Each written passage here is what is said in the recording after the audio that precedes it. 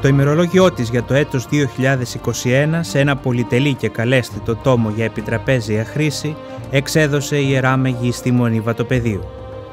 Το ημερολόγιο του 2021 επί τη συμπληρώση 200 χρόνων από την Ελληνική Επανάσταση είναι αφιερωμένο στο καθοριστικό αυτό γεγονός για την ιστορία της πατρίδας μας και την πορεία του ελληνισμού. Την έκδοση προλογίζει ο καθηγούμενος της Ιεράς Μεγίστης Μονής Βατοπεδίου Γέρον Εφρέμ.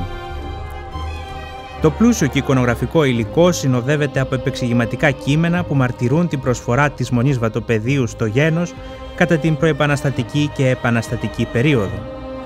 Σημαντικές προσωπικότητες συνδέθηκαν με τη Μονή και αποτέλεσαν δυναμικοί παράγοντες για την ανεξαρτησία συμβάλλοντας στην άνθηση των γραμμάτων και της παιδείας του γένους και στην οικονομική ενίσχυση του απελευθερωτικού αγώνα. Η Μονή Βατοπεδίου συνέβαλε με κάθε τρόπο και υλικό μέσο στην Επανάσταση, ενώ προσέφερε και με το έμψυχο υλικό της ως θυσία, προσφέροντας νέους μάρτυρες στην Εκκλησία για την αγάπη του Χριστού και την απελευθέρωση του γένους.